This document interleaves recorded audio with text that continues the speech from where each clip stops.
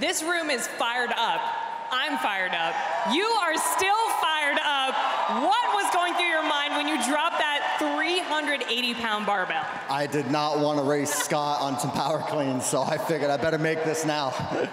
You said you were coming out here to win this event, and that's exactly what you did. Moving forward, what is your attitude like toward the rest of the weekend? Oh man, I was nervous about this. Uh, I was putting all my chips on the table. The most I've cleaned in the last year is 345.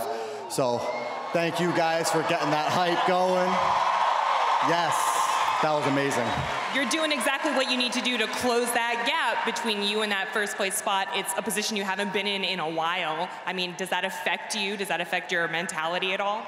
No, not really. I mean, it is what it is. You know, I had a couple shit events and um, just putting all the chips on the table. Let's, let's go. Let's have a good last day. Absolutely, making moves. Congratulations. Thank you.